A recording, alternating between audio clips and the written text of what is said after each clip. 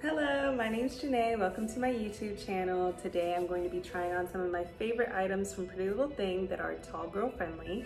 As you know, I'm 5'11", so I have trouble finding things that are actually long enough or whatever the case may be. So I'm going to show you some of my favorites from Pretty Little Thing. But before I get started, I want to talk about one of my other favorite online companies. It's called Dossier.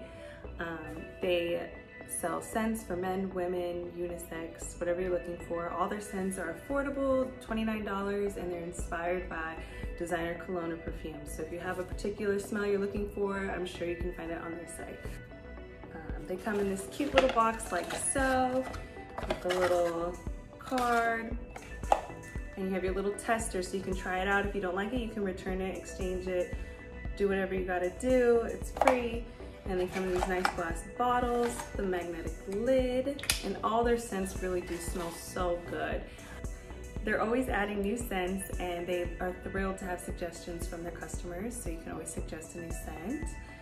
Um, they have really good, amazing bulk deals on their site, so make sure you check out their site. You can also get some more money off with my discount code JANAYB10. So yeah, make sure you guys check them out.